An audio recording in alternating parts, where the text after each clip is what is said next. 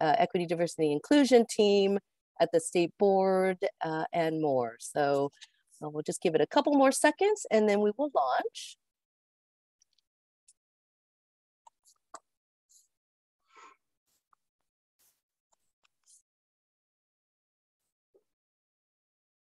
Okay. We're getting close.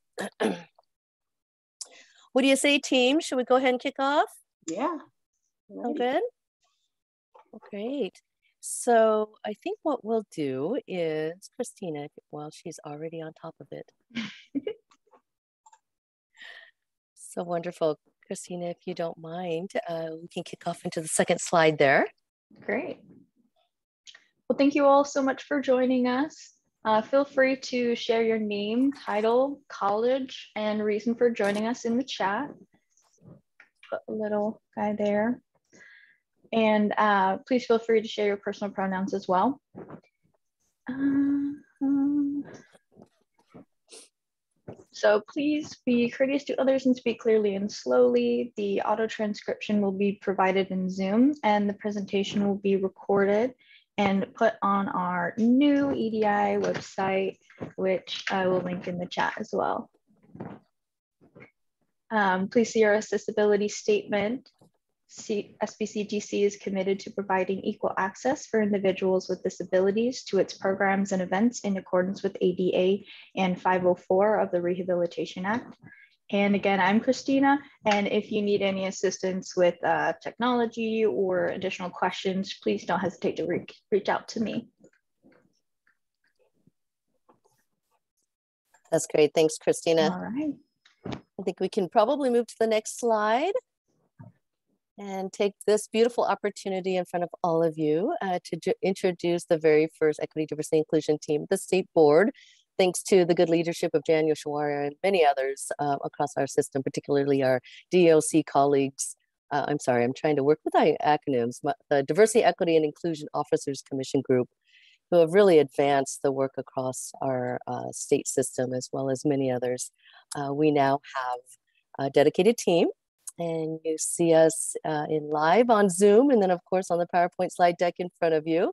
So uh, my name is Ha Wen, for those of you who I haven't had the pleasure of meeting yet. My pronouns are she, her, hers, and I have the honor of serving as the director of this team. And I'm coming to you from the ancestral lands. Of, thank you, Phyllis. Hopefully you're feeling okay. Um, I'm coming to you from the ancestral lands of the Coast Salish and Puyallup tribes. And I'm going to give some space to introduce, uh, for Melissa and Christina to introduce themselves as well. Yeah, thank you. I'm Melissa Williams. My pronouns are she, her. Uh, I am the Policy Associate Equity, Diversity, and Inclusion at the State Board. I'm new to the role and coming from Clark College. So shout out to my Clark College peeps in the room. Uh, and I am in Vancouver, Washington. So I am on the ancestral lands of the Cowlitz and Chinook and other Lower Columbia peoples. Uh, and I'll pass to Christina. Thank you. Um, I'm Christina Pleasance, the administrative assistant for the Equity, Diversity, and Inclusion team. My pronouns are she, her. I'm super excited to be in this work with Ha Melissa, lovely people, and truly grateful and proud to be a part of the state board. Um, I've already learned a lot in this role, and I look forward to uh, all the good work that we're doing with our students and our communities. All right, let's keep going. Go ahead, Melissa. Right, we do want to begin with a land acknowledgement and a labor acknowledgement. And I'll read through, and as I'm reading through, uh, please, if you will, in the chat, put uh, which lands you're on uh, and honor the, the folks past, present, and future um, whose lands we occupy. If you know that information, please feel free to share in the chat um, as I read this land acknowledgement for us. SBCTC acknowledges that our community resides on the ancestral lands of the First Peoples. The office of the Washington State Board for Community and Technical Colleges is located in Olympia on the Coast Salish lands of the Nisqually, Cowlitz, and Squaxin people. We ask you to join us in celebrating the Indigenous tribes of Washington by acknowledging their ancestral lands, their communities, and the past, present, and future generations of the Native peoples across our good state. We know that such statements only become truly meaningful when coupled with authentic relationships and sustained commitment. Uh, and as such, we commit to continued efforts to build our collective understanding and action to foster authentic Native community connections. Um, so think about um, in your work or in your personal lives, how you are working to foster those meaningful connections um, with Indigenous folks and Native peoples. Uh, and there are so many different ways to do that, and people do really great work um, forging those relationships. And so we encourage you to continue that work. Uh, and on the next slide, I will um, give a labor acknowledgement. Uh, we also acknowledge that our nation and our institutions have benefited from the free enslaved labor of Black people. We recognize the interconnected histories of Indigenous peoples who were forcibly removed from their land and of those who were forcibly brought to it. We acknowledge the enduring impacts of the African diaspora, honor the contributions, talents, and dreams of our Black communities. Uh, we acknowledge the immigrant labor that has contributed to the nation as a critical labor force, including voluntary, involuntary, trafficked, forced, and undocumented peoples. We recognize and honor their significant contributions. In these acknowledgements, we, could, we commit to the essential work of moving beyond awareness to action through meaningful changes at our institutions and in our communities. So thank you for um, allowing us to present those acknowledgements to you and for reflecting on those too as we move forward. Uh, so I will uh, share quickly the purpose of today's session. Uh, and we um, have outlined three primary takeaways uh, for you. And we'll begin with um, the state board highlighting the diversity and equity officers commission work and the significance to the equity diversity and inclusion work that we do uh, at our different campuses and so um, the state board is invested in elevating the voices and the expertise and labor of the members uh, of the DEOC. Um, and the equity officers ought to serve as a primary resource for colleges in shaping the efforts around Bill 5194 and uh, 5227. Um, and so we are working collaboratively with the uh, diversity and equity officers um, so that we get input from them and uh, calling on their expertise and so that we can use their uh, voices in shaping the guidance that we are providing to all of the colleges. So it's very important to us that we are um, uh, working with that group. Um, yes, thank you. Diversity and Equity Officers Commission is DEOC. Thank you, Rashida. Uh, and several of the members of that commission are here. Um, and so that is one of the purposes of today's session uh, is to elevate that their voices in that work and then also to um, have us be mindful of them as a resource in this work. And then also the significance of the state bills to advance equity, diversity, and inclusion work uh, in our system and in higher ed. Uh, the bills are an opportunity for us to operationalize equity and anti-racism efforts and social justice across our community and technical colleges.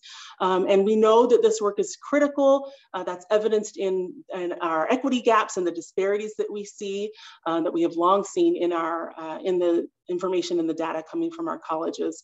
Um, and so this is one more effort to um, encourage our institutions to focus on this critically important work and to, to create equitable learning and working experiences for students and employees.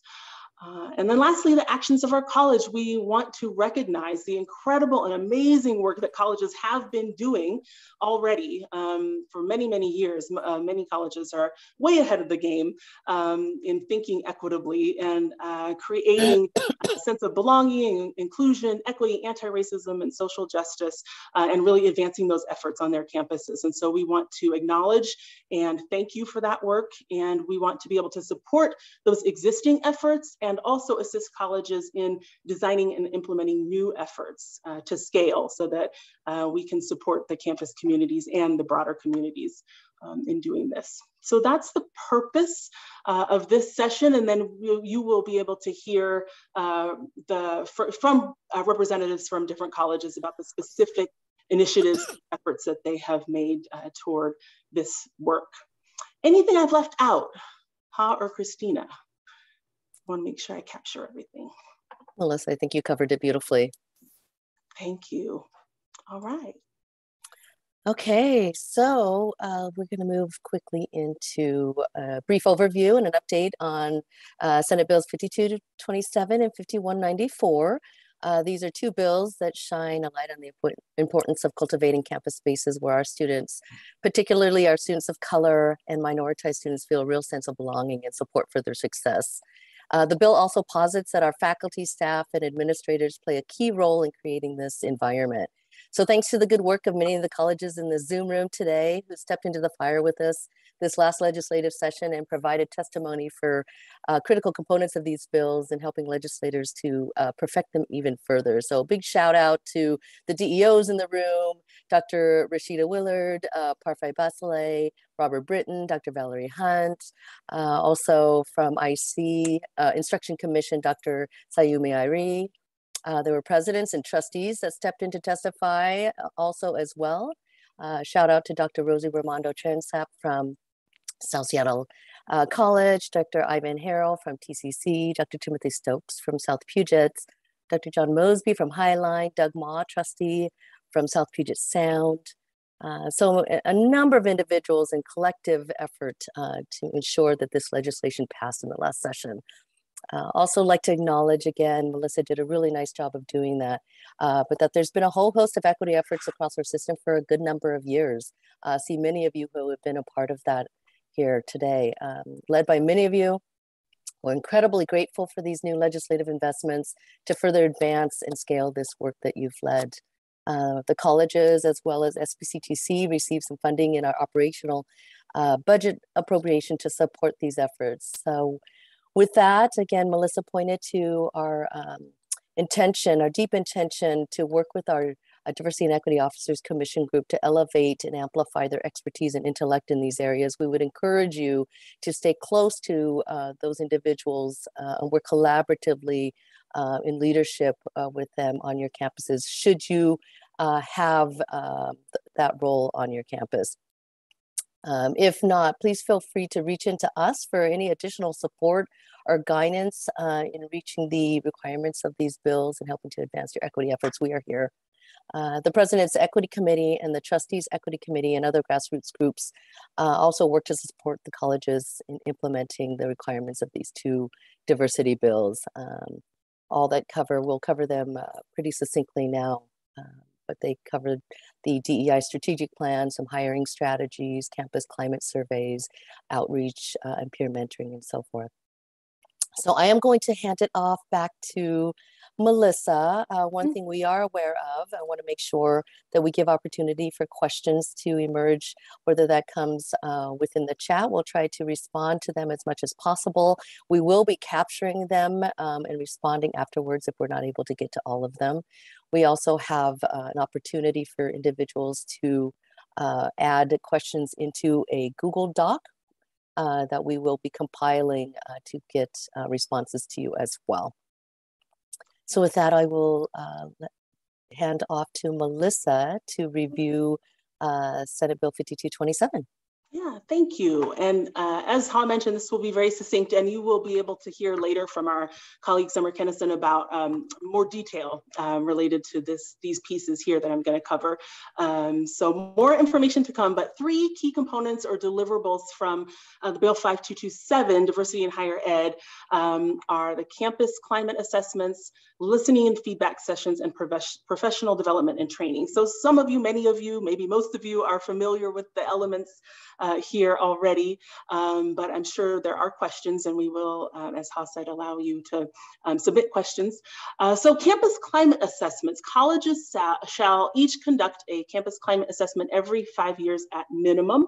And the purpose of those assessments is to understand the current state of diversity, equity, and inclusion on campus for faculty, staff, and students, so for the whole community, um, and also to use the information gleaned from those assessments in developing uh, professional development and training opportunities. Um, so really utilizing that data uh, to the best of your ability. And so at a minimum of every five years, um, uh, many colleges that conduct campus climate assessments already are doing them more frequently within that. Um, so that probably wouldn't be a challenge for those of you who are already using campus climate, climate assessments, um, but that's the minimum there. Uh, listening and, oh, and, and po posting the um, findings on um, a public website as well. And that, that is the same for the listening and feedback sessions. And so transparency is a part of this process. That was an important uh, element of the bill uh, is to um, have, have the colleges report out uh, the information that they're gathering. And so for the listening feedback sessions, that information will be uh, posted as well on public websites. Uh, and colleges must conduct annual diversity, equity, and inclusion listening and feedback sessions for the whole campus community. Uh, so students included, of course. And again, the purpose of that and the significance of it is to um, have that in real time um, information coming from folks who are being impacted by the climate and using that information uh, to inform your initiatives and efforts in uh, equity. Uh, and then professional development and training. So providing diversity, equity, and inclusion and anti-racism training to faculty, staff, and students uh, creating uh, an evaluation for the participants to uh, be able to assess uh, the development and the training, um, share completed evaluations and other program information with uh, SBCTC annually, and then uh, posting the DEI training framework on public websites. Um, so those are the three main components. And um, because many colleges are already doing work this work or work very similar to it. Um, there are some institutions will be tweaking what they're already doing. Uh, some institutions may be starting more from scratch. Uh, so it really depends. We've got a continuum of experience, uh, you know, across the system, but we are here to, to help uh, guide and to answer questions. And again, um, Summer will be giving more in-depth information a little bit later. Uh, so that's our brief overview of this bill. Um, and I see Valerie's hand up. Dr. Hunt, is that you? You're muted if you're speaking. Okay, we might connect back with you uh, later. So uh, I'll pass it along to Ha. Great, thank you, Melissa. So moving on to uh, Senate Bill 5194, uh, Equity and Access in Higher Ed. I'm going to be focusing on two sections of that bill. This is the kitchen sink bill, if you will. So it was a very complex bill that included uh, a number of different elements um, across a number of different areas. Uh, so for purposes of today, uh, we concentrated uh, specifically on section three and section five, uh, so for section three, this is the overall DEI strategic plan. So there's really one producible, one deliverable that's overarching, uh, and that is the DEI plan that would include all of what you see in front of you. So a plan that includes a culturally appropriate student outreach program. Many of you, again, may have already have this strategy established uh, for a number of years and have been pretty successful and effective in that. You'll get to hear today from uh, South Puget Sound on how they've coupled um, this work with the peer mentoring strategies on their campus. Uh, so be thinking again about some of the work that you've already been doing that meets the uh, expectations and requirements of this section. Uh, so the student outreach program, the peer mentoring strategies, uh, including opportunities from student, for students from minoritized communities to form student-based organizations to assist each other navigating the educational system. So a lot of peer mentoring. How are you doing that already on your campuses? How might you be thinking about incorporating that moving forward? Um, and I'm going to skip down to the DEI definitions. Uh, so again, back to the idea of transparency, colleges must include definitions in their strategic plans, uh, as well as posting them on their websites. Um, So if I'm working on a college and I'm developing a strategic, strategic plan, um, I'm going to be including all four of these components within that plan. Uh, some of you may have already incorporated this.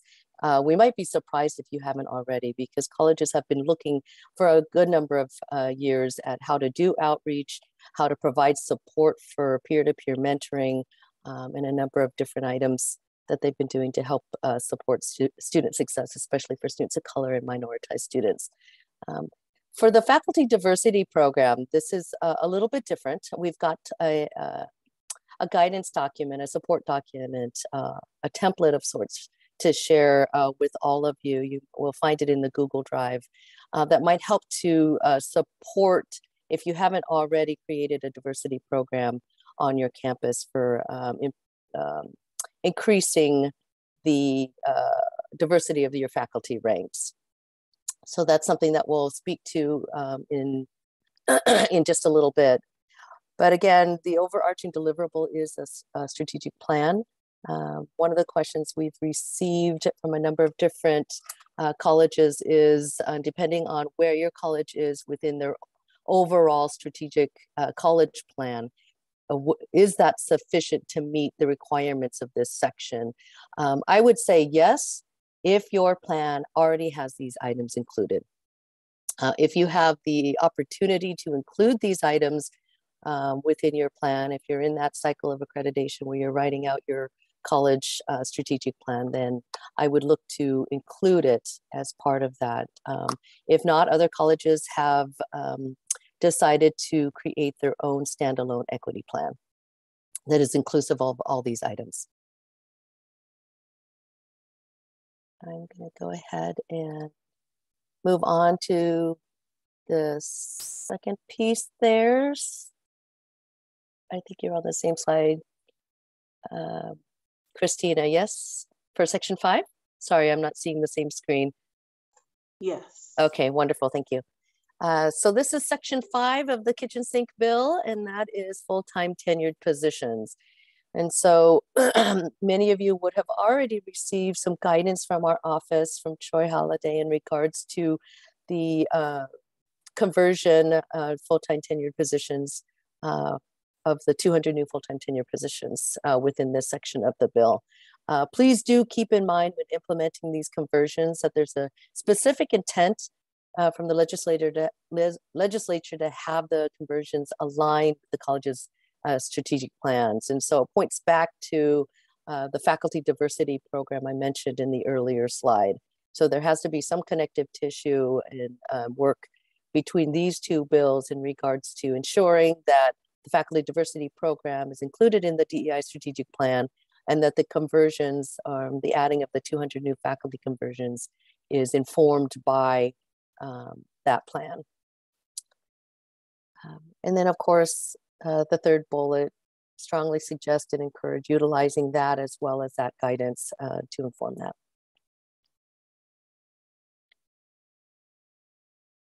Can you, I think there we go.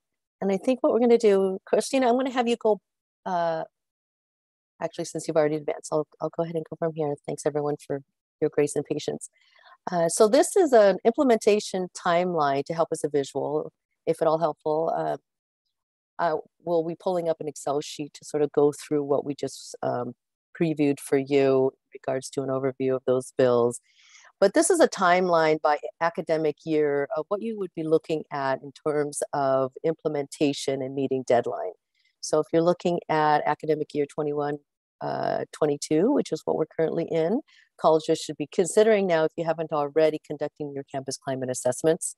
Uh, during ledge session, we uh, wanted to stay true uh, to colleges' um, uh, nature of local control and, so, and not to dismiss colleges who have already been doing this work and have already conducted campus climate assessments. So if you've already done uh, some of that work, we don't want to dismiss those findings. But for those who have not, uh, you're looking at conducting your campus climate assessment in tandem with the development of your DEI strategic plan.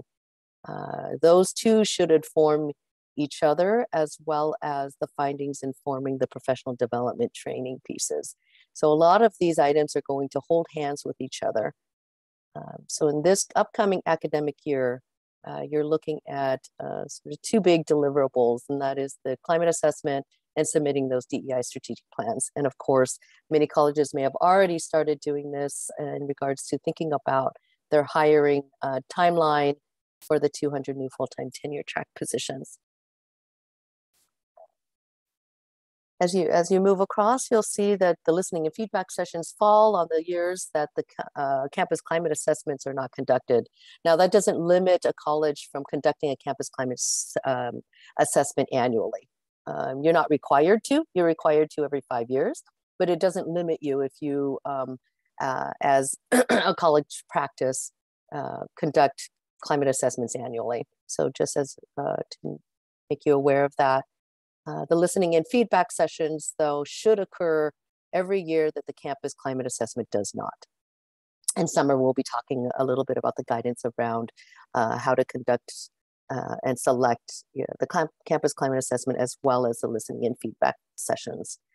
And you'll see uh, beginning academic year 22-23, we're looking at um, colleges providing uh, anti-racist DEI training for all new faculty and staff. Um, and then with 80%, uh, the goal of 80% of total faculty and staff completing training after two years. Um, and then of course, being transparent and posting DEI definitions and terms on the website. There's also the requirement again for program evaluations um, and so on uh, as we move forward. So you'll see that there's uh, an eventual scaling across the next uh, five, six years in regards to uh, ensuring that faculty, staff, and students are receiving training, uh, that colleges are, uh, are assessing their campus climate um, and looking at any growth areas or gaps to fill in regards to providing additional training. And I'm going to hold on a second and see if I can't uh, screen share another item. And if you'll just hold one second.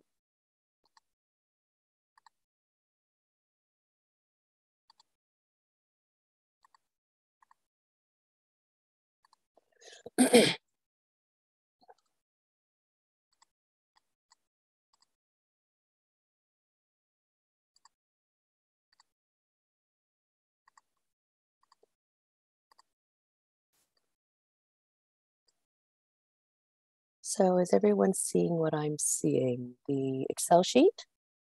Yes. You are, wonderful, thank you. So everybody has a copy of this in the, the Google Drive, the shared Google Drive um, with all attendees. Uh, but this again is just another visual to assist with the, your planning efforts and your implementation. So just starting with like 5227, we're looking at the campus climate assessments the listening and feedback sessions, and the professional development and training uh, components of that bill.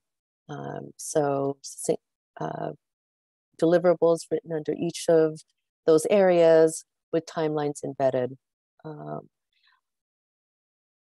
State Board here for the campus climate assessments, you're gonna hear a little bit again about that from summer.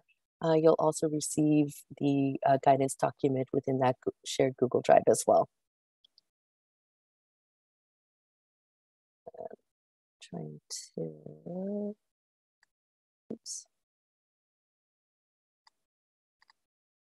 Sorry, everyone, I can't uh, get this thing to minimize, so I can, there we go. Uh, Ha I cannot see the Excel spreadsheet. Are you sharing it by screen or are you sharing it with us? I'm sharing it on the screen. I thought somebody um, said in affirmative that you could see it, no? I can see it on the screen. I just didn't know if it was also shared, sent to us. Thank you. And components of 5194. DEI strategic plans is again the overarching deliverable with these items underneath embedded within it. Um, and I just want to take a couple seconds to point to the model faculty diversity template that'll be shared uh, within that Google Drive as well uh, and we'll be reviewing that just really uh, briefly today. But this is an item that is a, uh, something that uh, State Board will be providing. It is not an item that um, colleges have to come up with a model program. Uh, it's something that uh, the colleges would hopefully is useful to colleges as they continue to develop their own.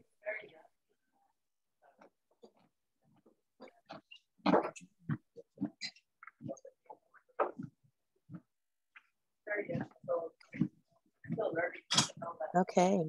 I think we're on to the next slide, Christina.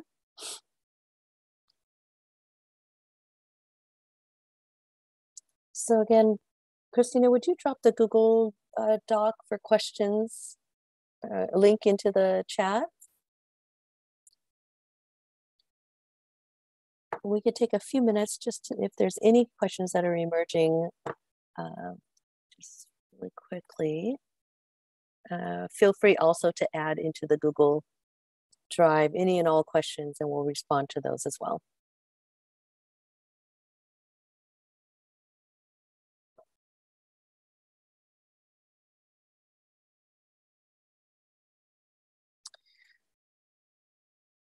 Okay, not seeing any come through on chat. Uh, Christina, you just monitor. I see Robert raised his hand. Yes, uh, thank you for uh, providing this information session. It's been very uh, enlightening thus far. And my question is around the, I, the ability of colleges to create, in addition to these components, part of the uh, 5227 component is that whole aspect of tracking and monitoring uh, the trainings that individuals do uh, but every other year or every two years. And mm-hmm. I'm wondering because that can be somewhat of a very tenuous process and a very big lift for many mm-hmm. institutions, especially without an infrastructure already in place to track, monitor, and evaluate these particular uh, trainings. And so one of the, the questions that I have is that can we tie into CTC link as the tracking mechanism for these particular trainings? Because then it's just a matter of running a report as opposed to having, and with CTC link, all of our information travels with us from institution to institution. So an individual wouldn't have to do the training again if they transfer to another institution. So it's one of those things that we could look at to try and see if we can uh, create a template within CTC Link as the tracking mechanism for all of these training system wide. That's beautiful, Robert. I'm going to make sure to to look into that a little bit further. I think that's a, uh, an incredible uh, idea to be able to do the tracking. I know uh, some of our colleges have been able to incorporate a tracking system. I think Rashid from Clark might be pointing to some of the work that they've been doing already in regards to that. But I think that this is uh, a system level solve, if you will. So let me look into that. Thank you, Robert It's a question from Claire. Thank you, Claire, uh, in the chat. Is there guidance on what constitutes a DEI definition? Are these college DEI statements or something else? So my under, I'm sorry, Melissa, did I cut you off? Oh, no, go ahead. So my understanding is uh, they're not statements, but rather, and feel free to have, if you don't already have a college DEI statement, uh, but the definitions themselves are for any of the language that is being used with any kind of reports or communication on, on your websites uh, with other stakeholders to students that uh, you would be using uh, in regards to this work. So I think that there's been a number of colleges. I, I thought I saw some shares from, I don't know if she's here in the room today, but Cheryl Nunez has done some great work in collecting some of that. Um, I think uh, from Olympic College, there's been uh, a number of colleges that have already started doing some of that work. I think uh, Roberts from Lake Washington has started on that work or has already completed that work. So there's some good um, individuals and colleges across our system who have gotten uh, out of the gate on this item. Uh, but again, it's not just a DEI statement per se, but rather ensuring that the language we're using to communicate our work is um, universal and understandable. Thank you. I, I mm-hmm. still don't quite understand, so maybe I need to see some examples because I suspect at Skagit we're doing this, but I don't mm-hmm. know we are. And so I just want to make sure I know what, what the task is um, because I, if it's a matter of defining you know what equity is versus what diversity is versus what inclusion is as a baseline you know that's one project um, if it's something else i just want to make sure that we're you know aligning and i find it interesting that college is perhaps creating its own definitions um, versus a shared systemic definition. Mm-hmm. So that's a, another, I guess, question about this work. Mm-hmm. Mm-hmm. No, that's. May I raise my hand up for that? I raise my hand on uh, my phone. It, I think you're back on mute, Dr. Hunt. I went back on mute out of respect, but I want to know how to raise my hand to respond to that. Uh, feel free to respond. I think we, I think we're good. The um, the um, DEOC community was very well aware that there, that it becomes a quagmire to not have uh, standard, tractable, theoretically sound, and praxis-oriented uh, EDI definitions because from the definitions come policies and practices. And so it, I would strongly suggest that, uh, that uh, folks avail themselves of the work that we have done, not for our own, our own selves, but for the integrity of the work that is being done statewide. I appreciate that, Valerie. And just to, to your point, um, Claire, I think uh, in in sort of recognizing the work that Skagit Valley's done, I think that uh, uh, you certainly wouldn't be starting from scratch uh, for sure. But I appreciate the the system level thinking across the board um, on these items. So whether it's about the tracking piece through CTC Link or uh, definitions at a system level. So we can, uh, again, I would encourage uh, colleges to reach into their uh, DEO uh, officers if you have one on your campus. Um, and if not, feel free to reach into us as well. We can get you connected um, and can help to support your work in this. Okay, thank you so much, both, mm -hmm. Valerie. I think um, I, you know, I, in the spirit of what Dr. Hunt is suggesting, I think it's all the more reason for sort of a systemic definition um, because it, it, does connect to the policy. So, um, uh, you, you know, I know there's always debates about local control versus, you know, whole system, um, but when we're talking about definitions that impact policies, it, it would be helpful to have sort of a, a shared understanding. As a matter of fact, I'm uh, I would offer that our DEOC will provide some sort of listening and learning session uh, to to uh, reflect the work that people have that we've done oh, oh, for the past three odd years and beyond. And your lovely Yadira, I think Yadira is still with you. Oh yeah, it, it's on the executive leadership, and she yes, is, has exactly. also been an adamant person about uh, definitions, practice and policy. So yeah. y'all, y'all, y'all are all in, y'all in alignment. Yeah, we are happy to do that. Okay? okay, great. We will do that. Great, thank you so much. Okay, we're coming up on time. I do see two more hands up, I believe, unless Robert, is that your hand up still? Did you forget to put down or do you have another question? Nope, you're good. I think I saw Stephanie. Yeah, thank you, Ha. Um, I had a question about um, implementation recommendations. Well, I understand that that there is uh, local preference, and I encourage that. I think that uh, and research demonstrates that that locally relevant curriculum, pedagogy, teaching methods, et cetera, are essential to to creating effective uh, systemic changes. But on the other hand, I think it would be really helpful if we had more recommendations. And I think, especially to recognize the work that has already happened across the state. So, for example, um, the DEHPE group um, or DHPD group that had the 17 steps for hiring, recruiting, and retaining. And so I wonder uh, how how is the existing work so within institutions, there are grassroots movements, but there's also been a lot of movements across the state. And some of those people were really ad- advocates for this legislation and are very involved in it in various methods.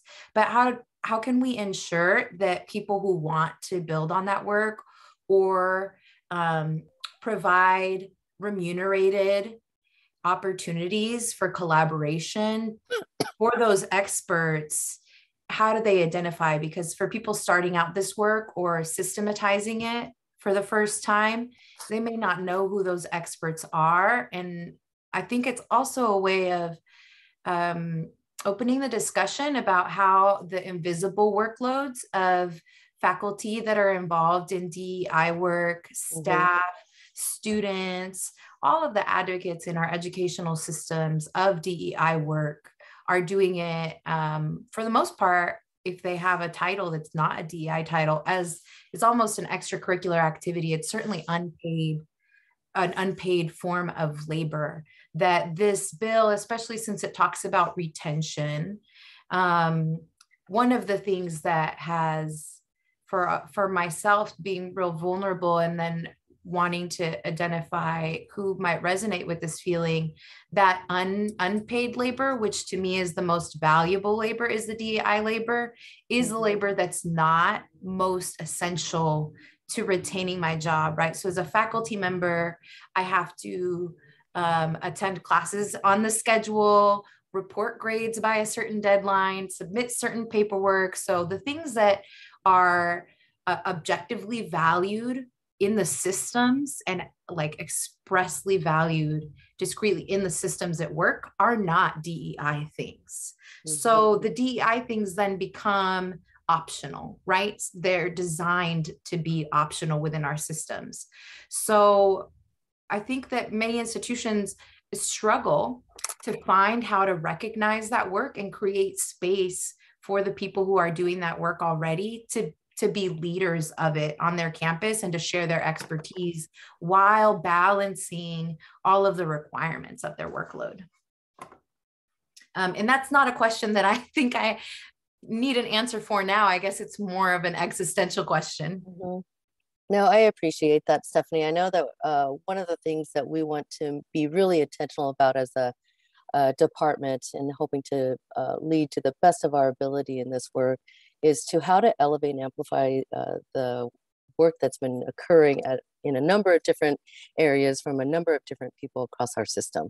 So with that, uh, that means taking a look at the current uh, infrastructure that we have built uh, within our own formal uh, system that is the commissioning councils and the hierarchical nature of that and who's missing at the table from those council and commissions. Um, so there have been some robust grassroots efforts from a number of faculty and staff. We want to honor that work at every turn. I know one of the things that we've attempted to do in the last year um, and I'll make this quick uh, as an example, is through the WAC Equity Committee and uh, leaving space for um, some emerging groups that came through as an offshoot, I believe, from the DEHPD group that you mentioned, uh, and that is the DEI in Washington CTC's group. So a really informal uh, group that we want to make sure are invited to the tables. We're looking to, to do that as well. Uh, some of the other areas that you mentioned in the 17 steps of hiring, pointed to that in the faculty diversity model template. So we're trying to be as inclusive as possible to honor the work that's been done across our system. Some um, incredible work. But I hear you, uh, and I want you to know that we're we're um, thinking about that at every turn on how to do that. Uh, and thank you for posing that and bringing that up uh, for everyone to to consider that as well. So I am going to we're going to have to move forward. Again, feel free to use uh, the Google Doc uh, to pose any questions. We'll make sure to get back with uh, those responses um, as soon as we can. And you'll see in front of you sort of the rundown of the next sessions. This is the piece around state board guidance on the uh, campus climate assessment, um, as well as the faculty diversity model template, and then some college highlights. Uh, so Christina, I'll have you go to the next slide. And I'm going to go ahead and hand this off to Summer Kenesson, who is our Interim Director of Research at the State Board. Thank you, Ha. Um, and as Ha mentioned, I'm the Interim Director of Policy Research at the State Board. Um, although I've been working with Ha on the campus climate assessments and the listening and feedback sessions prior to moving into that position, and we'll stay with that once the director position is filled. So in the interest of consistency, um, I just wanted to, to make that, that clear. Uh, so what I, I want to do is um, kind of have a, a walk through some of the expectations of the bill around the campus climate assessments uh, and the listening and feedback sessions, and share some of the guidance um, and recommendations that the state board can provide as colleges want to move forward with this. Uh, you can see on this slide, there is an expectation that the findings of the campus climate assessments need to clarify the current state of DEI in classrooms, common areas, libraries, support services, and if you have it, residential accommodation. And that's a pretty broad range, and it really is intended to cover a, the student, faculty, and staff lived experiences at all times when they are working with the college.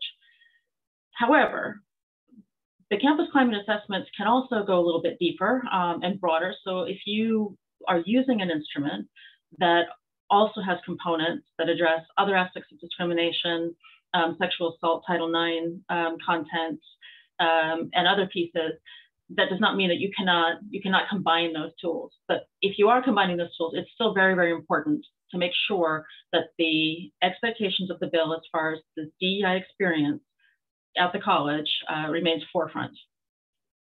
There is a requirement to consult with faculty, diversity officers, staff, and students on the development or selection of, an, of a survey instrument for the CCAs. Now, that if you are, are already using a campus climate assessment and you want to continue to use that, um, there's no there's nothing to restrict you in doing that, but that does not negate this requirement. So while we don't want to limit colleges' use of the data that they may have already collected in the past, and by all means, you know, we're, encouraging that. So if you've already completed uh, recently campus climate assessments or you have longitudinal data on this, you know, we encourage you to, to continue to work with that. However, if you're going to select a new instrument or you're going to continue to use one that you already have, there's still this requirement to ensure that the development of something in-house or the selection of something that um, you are already using and want to continue to use or something that you want to start using goes through this broad consultation process. And then there's the requirement to submit the findings from the campus climate assessments both to the state board. We will be required to do a summary report um, by 2024 but also to publish these findings on your campus websites. Um, and I'm going to talk a little bit more about some of the expectations specifically around each of these areas. Okay, Christina. So in order to get um, some, some clarity on both what we're trying to interpret from the legislative bill, but also making sure that we're getting clarity on what constitutes meaning and value in these activities for colleges. Um, the state board conducted several consultation sessions.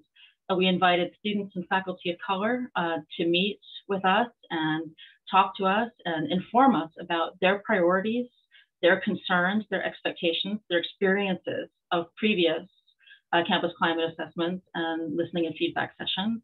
Uh, and really give us some, um, some structure. Be thinking about how we can make sure that the guidance that we submit and the direction that colleges go forward um, is meaningful, is relevant, and is transparent.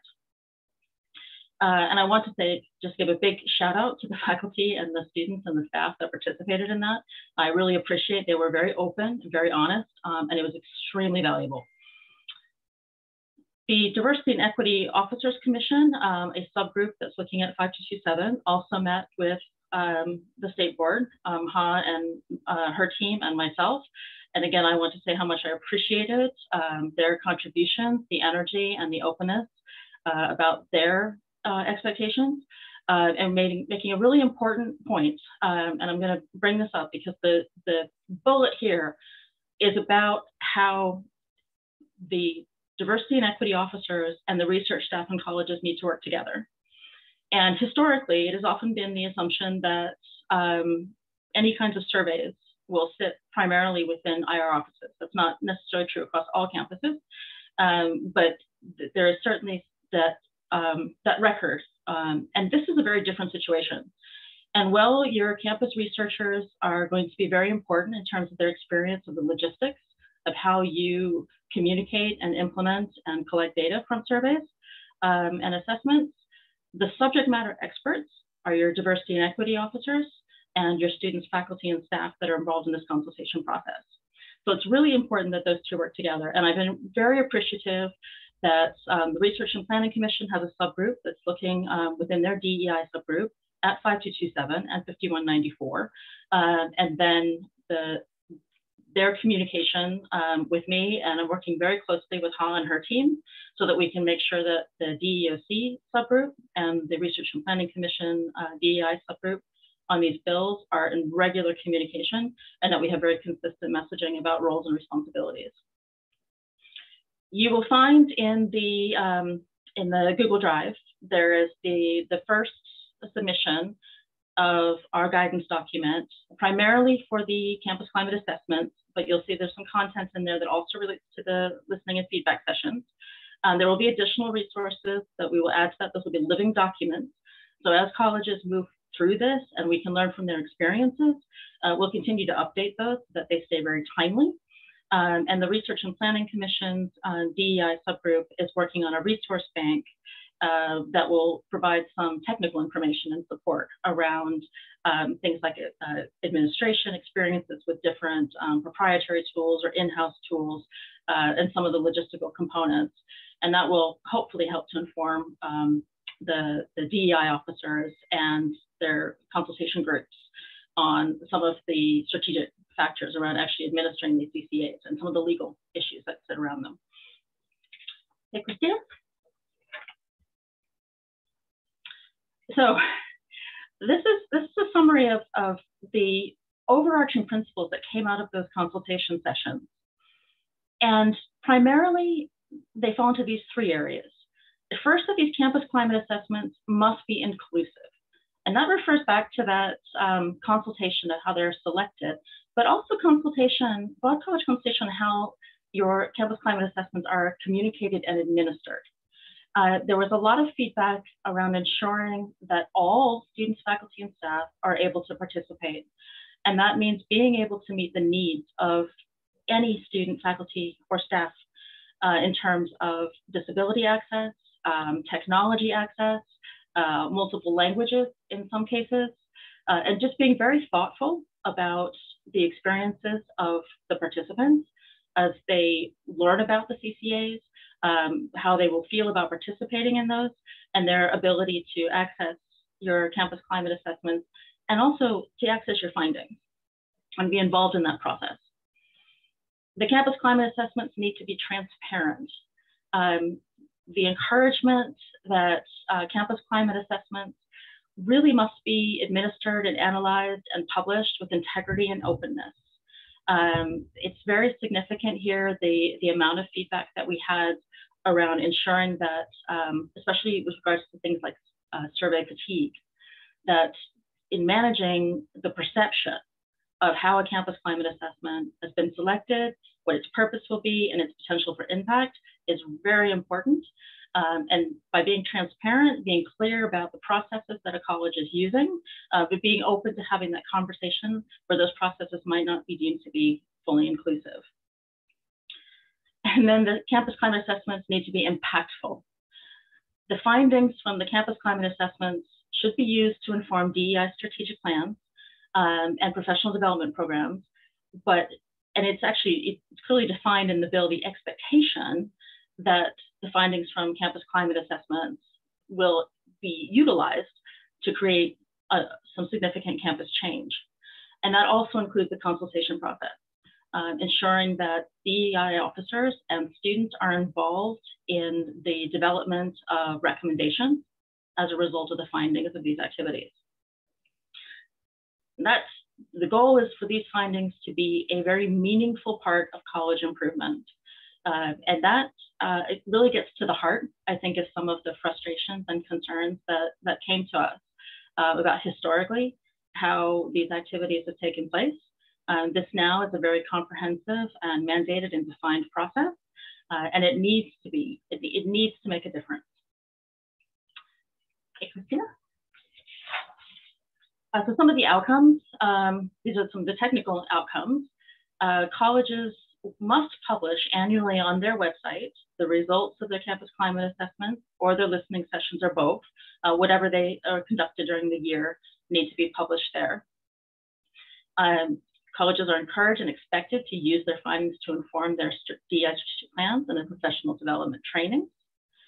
And colleges are encouraged to maximize transparency with open communication with students, faculty, and staff on their campus climate assessment selection or design, the implementation, the analysis, and the application of the findings. Now, by the end of 2024, the state board will be required to prepare a report for the legislature that will include a minimum of the summary of the results of the completed CCAs. Now, how what that will look like, we'll, we'll envision when we get a bit closer to the date and we kind of see the, the sort of information that's coming in. Uh, but it's very important here that this also reflects that process. And so the state board will be applying the same principles to preparing that report that we are expecting colleges to share as they publish the results of their findings. At this point, there is no requirement to do any additional benchmarking or peer comparison studies. Um, however, there's certainly the potential for that to evolve or for requests to come to us from colleges or groups of colleges to look more specifically at that. Now, in order to maximize the contribution of campus climate assessment to the DEI strategic plans and other programs in development, we are strongly encouraging colleges to complete their initial CCA before July 1st of 2022. So that does take into account that you may have campus climate assessments that you've already administered or you've administered perhaps in the last 18 months that you want to use that may or may not have gone through um, an acceptable process. We do encourage you to still use those findings. Uh, and there may be some colleges that feel that it is um, they would have a better reach for their students if they waited till fall quarter. It, that's not that's not unreasonable. Um, but we really want to encourage colleges to make sure that they have the most valid and meaningful and current uh, data available from their their campus community as they think about their strategic plans. But this also is an ongoing process the iterations of the campus climate assessments and the feedback sessions will should be able to continually inform the strategic plans as those evolve and improve over time.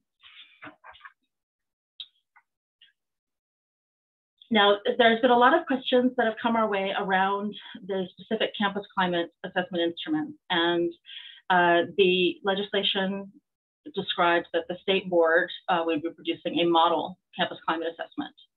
However, responding to the, the feedback that we've had, um, the decision was made that we would not prepare a standard campus climate assessment, uh, partly because that is a very sophisticated activity um, and needs to have professional input, but also because we wanted to encourage colleges to identify instruments that were most meaningful to their particular college um, and enable them to adapt and select uh, according to what they understand their, their needs to be. And there was also um, uh, a lot of interest and concern around transparency and uh, confidence and participation. And so we will be providing a list of suggested existing campus climate assessments. Uh, we are not making any endorsements, any commercial endorsements of any of these. Uh, but in the guidance document, and I'll show you a list at the end of these slides too, of some of the available campus climate assessments that are out there, both for students uh, or staff and faculty, or in some cases both, um, that are felt to meet the expectations of the bill. Many of those are already in use by colleges. Now, again, if you want to continue to use those, there still needs to be a consultation process that takes place to determine that that is the most appropriate tool for your campus but I'll talk a little bit more about those later. Um, there is the potential for the state board to require colleges to repeat their campus climate assessments if they are not deemed to meet the expectations of the bill. Um, I, I'm hopeful that that will not happen. Uh, but if you have any questions or concerns in this process, please reach out to Ha or her team or myself, uh, and we can have a conversation with you. So many people have already reached out to me describing the process that they've gone through um, and how they've selected their tools and what their plans are. And I really encourage people to do that. I'm very open to that. Feel free to contact me or to contact Ha, um, and we can meet and, and talk about um, what your plans are, um, what your concerns are, and make sure that this process um, does fully meet the expectations of the bill.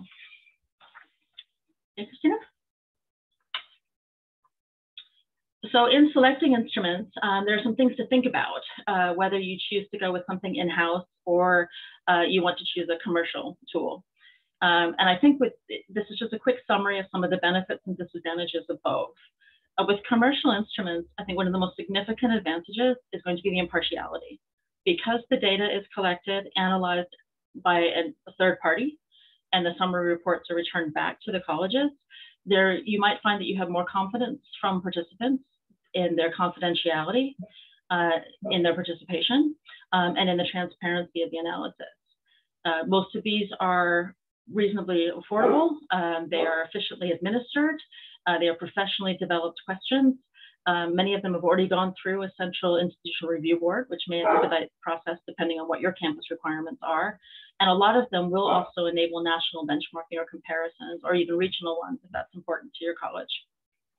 However, they do come with a cost. Um, they do come with mostly standardized questions, although most of the commercial instruments will allow some um, personal developed questions. But we provide links to the available um, sample survey so that you are able to go through and kind of determine which types of these commercial instruments might be best suited to your campus. In-house instruments do enable a college to be much more specific about the type of questions and content that they want to cover. Um, you have complete control over your administration timeline, and you can adapt and evolve your campus climate assessment to meet any specific needs or areas where you feel like you need to have a deep dive. Um, and they're also much more, um, they're, they're, much more suitable if you feel like with your campus population, um, it would be significant and important to translate your campus climate assessments into other languages. That said, many of the commercial providers will do that as well. Uh, the disadvantages are, as I mentioned, concerns about the transparency and impartiality. Um, you may have an in-house institutional reward, review board process that might slow down the, your ability to progress with this. Um, and there will still be costs of resources to design this, administer it, and analyze the results. And when you take into the cost value of time, comparing that to some of the commercial instruments, um, you might get a more, um, uh, uh, might get a different perception of where the costs are. And as mentioned in the uh, spreadsheet before, there is some funding available under these bills to help support colleges, not specifically for this activity, but as part of that informing those development uh, processes that those funds are available. Next. There were some questions raised um, in this process about colleges working in consortia um, to purchase um, campus climate assessments, proprietary ones, uh, or design their own. Um, and that's perfectly acceptable, uh, and it does have some advantages. It will enable colleges perhaps to negotiate um, some reduced pricing. Some of these proprietary tools will do um, bulk group reductions in cost. Um, and a lot of them will enable you to do group benchmarking. You'll be able to have colleges with some com common questions that you'll be able to compare with your peers. Um, however, that does not create a consortium process. So if you choose to go in a consortium for either a student or a staff and faculty survey or something that does both, you still need to meet the requirements to consult with your own faculty, students, DI officers, and staff, um, and publish the findings from your own college on your website, not consortium results. Next. Now, for the administration of campus climate assessments, um, this really is about inclusion. And we really want colleges to be thinking very strongly about strategies that ensure that all students and employees are able to participate. And that means that they need to be appropriately informed in a timely manner of the administration of CCA and how they will participate. And they need to have that in a timely way. They need to have it in a method appropriate to them um, and their particular needs. And that may also include multiple languages.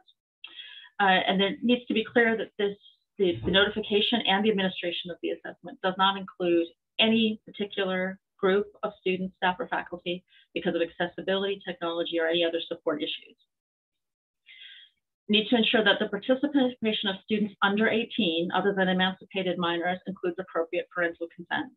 Many of the proprietary instruments will remove the find the results from students that are under 18, um, or will expect that those are filtered out. But if you have large running start, college and the high school, alternative high school populations, it's important to be aware of this. Need to ensure that adequate services are available for participants that experience trauma or distress from participating in the CCA. The process of, of reflecting on your lived experiences, um, your experiences both before and joining a college, just simply going through and answering the questions can create experiences and reflections of trauma and distress. It is very important that colleges think about that ahead of time and ensure that they have the adequate services available to students and faculty and staff and that they are aware and able to access those services.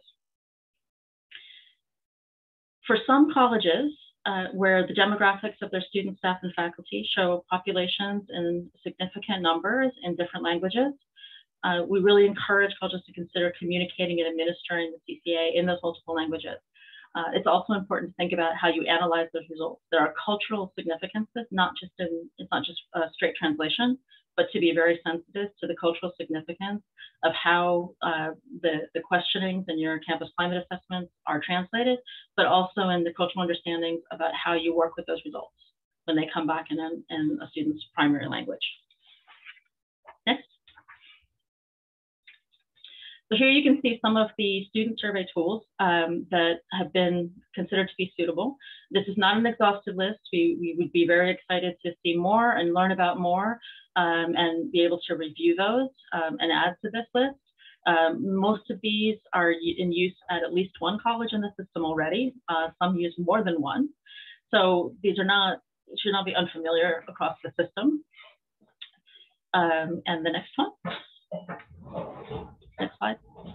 And then for employees, um, some of these student surveys are designed to meet the needs of both students and faculty and staff. So the Diversity and Equity Campus Climate Survey from HEDS um, and the SoundRocket DEI survey are designed, their questions are designed with that in mind.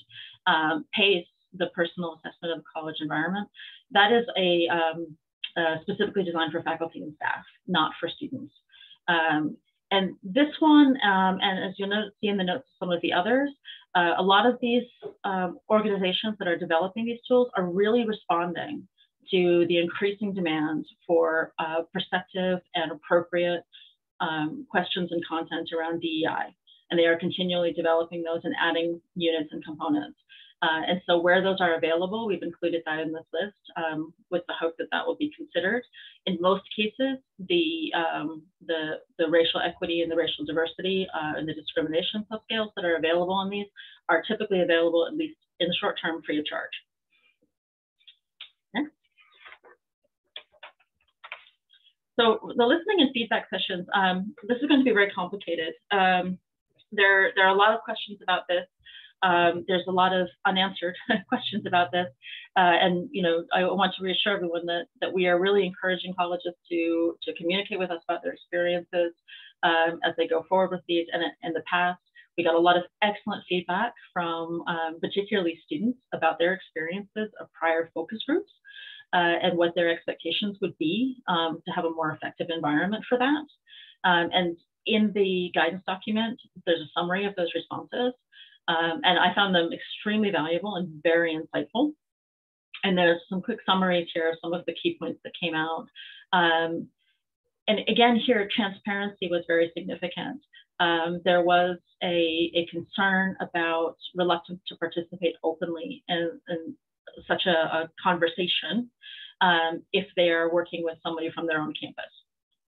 So there, we, are looking at um, some possible networks and support to be able to select and train facilitators, um, perhaps working with some community groups um, or with some of the universities to bring in uh, expert facilitators that are not part of your, your college community. Uh, we will be looking at some of the transcription tools uh, to enable the qualitative analysis of your findings.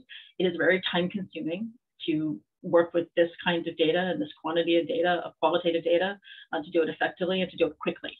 And so we're going to be looking at some of the tools that might be available um, for colleges to use when they think about what they're going to do with their findings. Participant compensation is a very complex area. Uh, there's a lot of questions to be asked. Um, and I know that a lot of colleges are working through their foundation to be able to compensate uh, participants for uh, participating in these feedback sessions. Um, we really encourage colleges if they have concerns about their compensation process um, to reach out to us. Uh, we have other people also in the state board who are fielding some of these questions. It's not a new concern. Um, so we're trying to kind of make sure that we can produce something that provides colleges with guidance on the best way and the most um, uh, appropriate way to go forward with that with the number of restrictions that we have.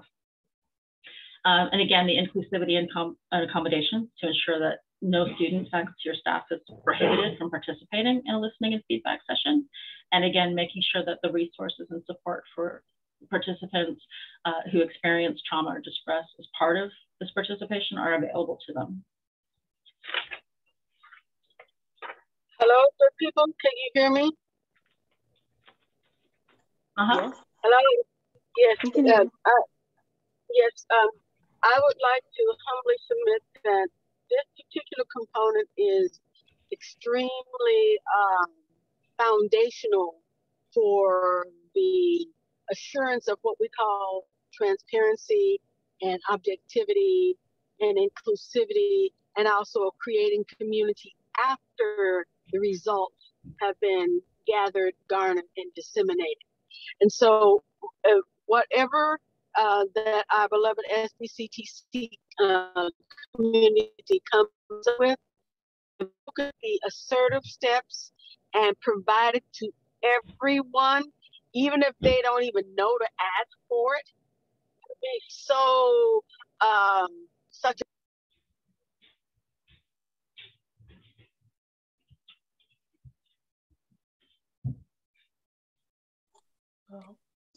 Dr. Hunt, I think we lost you. Uh, yeah. Did you? Uh, I I finished. Great, thank you. Uh, so thank you, Summer, uh, for that recap. Uh, and again, all of these uh, items are in that shared Google Drive. So please take a, a some time to review the, the guidance document, particularly uh, around the stakeholder input. Um, there was such incredible feedback that we, see, we received from the students uh, and faculty of color um, I want to make sure that you take into consideration as you um, think of your next steps on this item. So we're running a little bit behind on time, uh, but I'm going to just really briefly move over this slide. I think Christina dropped into the chat a link to the faculty diversity model templates uh, so that all of you can see. Uh, but this is an area within uh, 5194 uh, within the DEI strategic plans in which uh, our, I'm sorry, I, you can probably tell I'm trying to fight back cough a little bit. Uh, uh, but before I start in on this, I want to uh, draw attention to uh, the collaborative nature that the state board EDI team, as well as the research team, has worked so tightly together on these items. And I would encourage again for colleges to replicate this same approach. Be inclusive of your DEO, EDI officers and the their their expertise, their talents, and their knowledge in this space, allow them to take leadership um, for this work um, as you work collaboratively together regarding the either the CCA um, uh, selection and implementation, but as well as the faculty diversity program. So in just really briefly covering the faculty diversity program itself, um, again, in keeping with the decentralized nature of the community and tech college system and the aspect of local control for each individual college, the state board took the approach to not mandate a specific program to be created and delivered, um, but use the same approach uh, with the CCAs as we are with this one, and that is to provide a list of resources um, and guidance and a model template for considerations for colleges uh, to assist them in developing their own faculty diversity programs. And the resource list within that document is solely intended to provide options in support of each college's uh, faculty diversity program, and there's no requirement for colleges to use any of those resources. Uh, but one of the things that um, I want to I hope I'm remembering correctly. I think it was Stephanie that pointed to all the incredible work that's been going around our system for many, many years, many on a grassroots level. She uh, pointed to DEHPD and a number of other uh, endeavors. And that is something that we're working to incorporate and elevate uh, some of those strategies. Another is a search advocacy piece. You'll find that in the uh, template as well. Um, we're also looking at possible February sessions, uh, much like these January ones, that'll focus specifically on uh, the faculty diversity programming piece. So stay tuned for that. But the faculty diversity uh, template uh, intends to provide colleges a blueprint to assist with the development of their program, which again is a key component in their DEI strategic plans. Um, and it gives the colleges opportunity to highlight their current efforts for diversifying faculty on their campuses to be able to build on those, because again, many colleges have already started this work um, and assist in highlighting areas for consideration. So uh, two of the main points that you see in front of you, those two bullet points, uh, first two bullet points are uh, pulled right out of the actual language of the bill.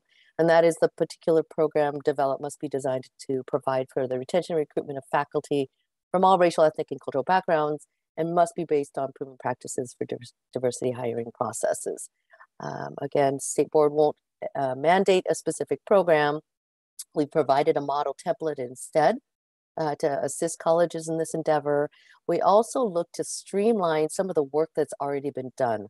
Uh, and that's uh, from the Workforce Diversity Plan. Many of you may be aware uh, that colleges were required to submit a workforce, workforce diversity plan by December of 2020 to the Office of Financial Management. Um, and so all colleges should have submitted that already. Uh, the template is built off that plan so that uh, the building of your diversity program is informed both from that plan and the work that, and to honor the work that you've already done. Uh, so much of the work in building this may have already been done on your campuses um, by purview of the workforce diversity plan that was submitted to OFM. Uh, if you have any questions about that whatsoever, you might check with uh, your HR offices uh, in regards to that. They would have been the individuals uh, who submitted that actual plan. But uh, as far as working uh, together with our HR office, I've been working with, our team has been working with the HR office uh, within the state board to adapt this template to help assist colleges in this work as well. so again, stay tuned for some possible February sessions that will focus particularly on this item. And I will move to hand it over now to Dr. Rashida Willard uh, from Clark College to kick off our college highlight series. Thank you so much, Ha. Um, I appreciate all the work that you all are doing um, in SBCTC um, in conjunction with everyone else um, to get these bills up and running and to get us some guidance. So I appreciate this.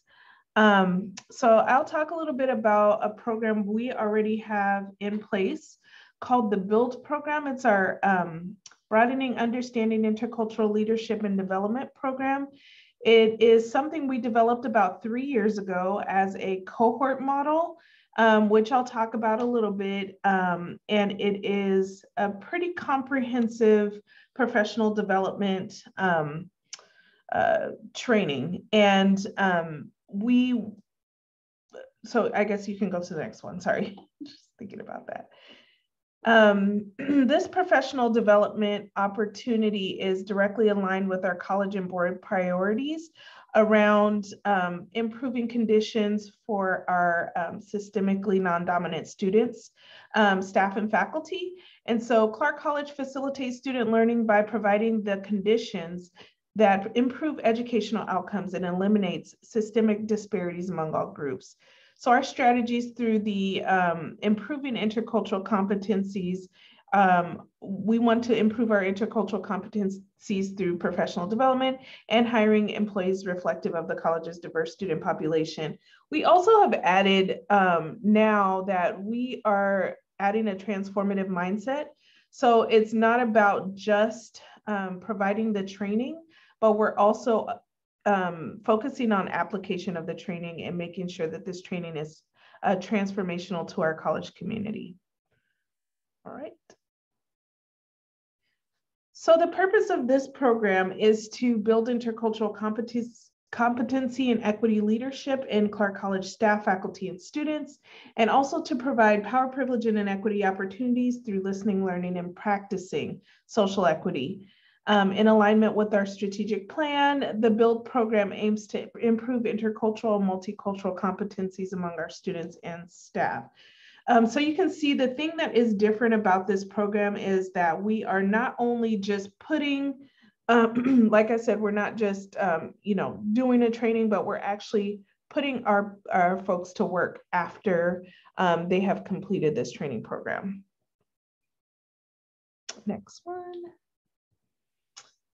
So currently we, this is an optional program. Um, and I know I'm presenting this, um, this is something that's already in place, um, but now with the, uh, with the bills, we have to um, think about how we make it um, mandatory. And I think um, it may need to be modified a bit um, because this is pretty comprehensive. Um, so any right now, any Clark College employee that wants to, employee or student, I should say, because we have students in our cohorts as well. Um, if they want to become build certified, it's a certification program. Um, they have to take an assessment before starting the program. And then after, and I'll kind of go over a little bit about that assessment a little later. Um, and then they have to choose five of our core modules, which you'll see some of those modules as well. They are two hours a piece. So that means that they have to complete 10 hours um, of, of the training um, before June 1st. And then uh, we have equitable decision making, which includes an equitable decision making tool. That is a required course. Um, the program starts October 1st. We do kind of a kickoff um, bring everyone in the space, tell them how much time they will be um, devoting to this program. And it finishes June 1st, but we actually finish around May um, with uh, presentations, which I'll go over again. Um, the cohort meets once a quarter after certification to um, keep discussing. We want them to continue to build those competencies. Um, they refresh their training, they talk, they have you know, a team site that they talk and we we've labeled each of the cohorts as a, a, color. So the first one was gold cohort and then it was the blue cohort. Now we're on the green cohort right now and they are, um, they, they kind of become this, this family, um, if you will. Next slide. So in this cohort model, we've we usually have between 35 and 40, sometimes a little bit over 40 folks um, in the cohort. We to make it more personal, we they have build buddies. And so um, what we do is we break them out into groups of four or five, and they meet with their build buddies. Uh, we have them meet at, at least once a month or um, on their own time get to know their folks, debrief um, any sort of learning or um, anything that they've learned, anything that they're grappling with. And um, it makes it a little bit more personal. So they're doing that work in those smaller groups as well. We also meet um, once a month. We have this optional space, which we call Build Chats, um, once a month. And I think that might be on the next slide. Nope. Okay, that's okay. I'll I'll talk about that. Um, we have build chats once a, a, month and they they jump into the chat. We talk about different things. So one of them being leading with racial equity and we talk about the state board's mandate or a mandate but vision statement um, and what that means for um, how they do their work. We talk about implicit bias. We unpack they take the iat we unpack um, white supremacy culture. We talk about current events that are happening in the world, um, things that are happening around um, diversity, equity, and inclusion. We try to use a really intersectional lens. Um, so looking at things that might be facing um, you know, uh, people with disabilities or whatever's happening in the world at that time. And they unpack that with their build buddies every, every uh, month. And so it's kind of structured. We have um, PowerPoint presentations, and then they go into the breakout rooms with their buddies and they kind of talk about it. And then we come back to the group and um, unpack it in the larger group. Here's a list of, um, go back, sorry. Here's a list of courses that um, we that we have developed in this training program. Um, they can choose between um, any of these and they have to have at least five one of those being equitable decision making. But what happens in the cohort is people are so invested that they usually try to jump into every single training, whatever training they want to. Um, so we have Safe Zone 1 and 2, we have Beyond the Binary, Impact of Microaggressions, Stereotype Threat, Best Practices to Support Dreamers, Power, Privilege, and Inequity 101. Um, Red, White, and Brown, we've had the contract out now with, with our Melissa being gone, um, but we're keeping it on the roster. Um, Disability Justice 101, Equitable Decision Making, Inequities in the Workplace, White Women in Power, Intersectionality, uh, Critical Race Theory, and Cultural Appropriation. We are adding more trainings all the time. So our, our team, we try to keep it fresh. We try to keep new trainings um, going. Uh, one thing that's really important to me is that the team is really developed. The, you know, my Office of Diversity, Equity, and Inclusion are, are really developed so that they can provide these trainings. And so um, we try to get them to as many uh, different prof professional development um, opportunities as possible. Um, next one.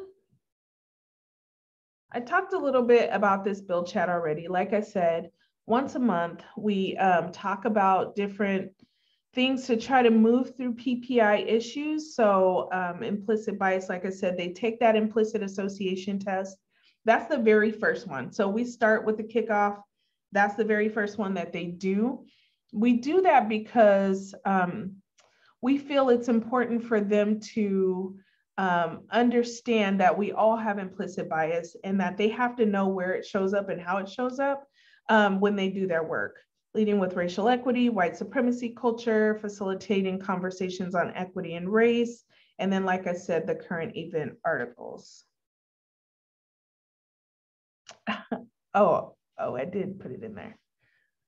Um, I hope that this, um, y'all can hear, but this is uh, a video that uh, one of our folks put together um, about the BUILD program. So.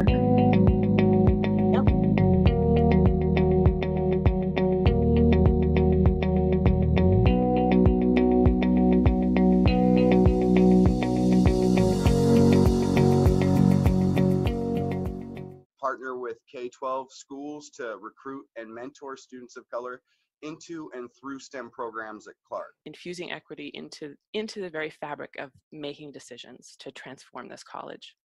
We're proposing the creation of a decal, just like with the one we have, like uh, the safe zone, the safe zone penguin, that symbolizes a support. To do a build program, starting with the student leadership training, right? So embed it with student leadership. So then student leaders are able to recognize white supremacy culture on campus. And um, a multi-month event to bring in text uh, preparers for low-income students to utilize at no cost. I wanted to look at how we could use the white supremacy culture framework and equity mindedness uh, to disrupt racism in our syllabi. My, my topic is implicit bias and stereotype threats in academic advising. These were the greatest people to work with and i really enjoyed and i couldn't have worked with man, people who were more devoted to this thing know thank you for um, creating the opportunity to have the build program um, rashida and the small but mighty ODEI team. I'm so proud um, to have worked with you this year. And also, um, thank you to all of the 43 participants, I think we ended up um, having, who said that you wanted to learn more and that you were willing to step up to make a difference.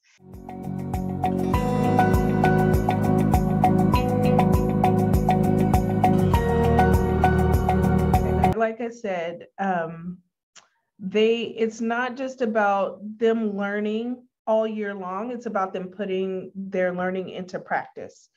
And with that, we also use them throughout the year. So we keep a roster um, and we use those folks throughout the year to serve on committees or to um, to like uh, you know be equity representatives because they get this pretty intensive training um, for the year. So it really helps to have folks um, at the table, and so it helps in terms of not tokenizing folks um, before what we were hearing was, you know, uh, you know, we need more people of color on our committees, or we need more whatever that looks like. But instead of tokenizing folks, you have you get to choose between whoever you want to serve on this committee. It's not um, just, you know, brown folks or queer folks or whatever. It's, you know, a group of folks who have been trained. Um, so you can see that these were some of the capstone, capstone um, people uh, wanted to talk about how do we create um, how do we create real allies and advocates for justice? And so their proposal was to to mandate using pronouns um, and meeting agreements and kind of a train the trainer train the trainer model. Um, if you go to the next one. Another one, this one was really awesome. This group looked at how white supremacy culture is embedded in our holiday uh, schedule, and they literally talked about every single one and how it um, how it embodied embodied um, uh, white supremacy culture. And their proposal was to give all employees 10 floating holidays, and you could just use it anytime you wanted. So if folks are not in the dominant culture, then they would be able to celebrate whatever holidays they wanted. So it just really gets people to thinking about um, thinking about equity in different ways. And it's very, very, uh, it, I feel like it, it just helps them to start thinking about those things. And then the last one is assessment. Oh, okay, I'll just talk about assessment really quick. I thought I had a slide, but uh, with assessment, we have um, we assess before and we assess after they're um, they're they're done with the program. Uh, we assess three different sections. One is knowledge, one is skills, and one is attitudes. So we're really looking at um, do you know the stuff? Um, how do you do the stuff? And then uh, do you even have a willingness to do the stuff? And so it's like we're we're trying to look really uh, well-rounded. And so we're seeing that all of our numbers go up really well in the knowledge and the skills, but the willingness, it doesn't go up very well. So people are not more willing to be interrupters or to um, to sort of apply um, their knowledge based on the training. So then we just have to go back and, and revamp a little bit. And so we're just using that data to improve the program. And that's it. So, thank you.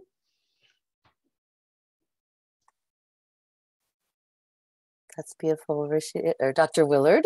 Thank you for sharing all of the good work of Clark College and looking to scale and uh, really advance this portion of the legislation. You've been doing it for a good long time.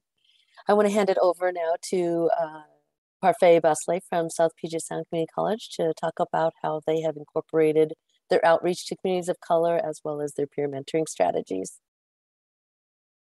Uh, thank you, Ha. Thank you uh, to the team, Melissa, Christina, for having me here. Thanks, everybody um, who is joining this info session. And uh, thank you very much, Dr. Rashida Willard. This was a really great, great presentation and insightful work that you're doing there at Clark College. Um, so I know we pressed for time. I'm going to go through my slide deck quite rapidly here. Uh, I was asked to talk a little bit more about some of the strategies that we're using at South Puget Sound Community College uh, related to um, the dimension of peer mentoring strategies um, that the bills are requiring um, colleges to do, as well as the student outreach program. Uh, so quickly about myself, uh, I'm the Executive Diversity Officer at South Sound Community College. I've been at the college for the last four years, initially in the capacity of the director of the Multicultural Center, and more recently within the last two years as the Executive Diversity Officer. And so um, that positions me actually really nicely to talk about this program, um, the peer mentoring program.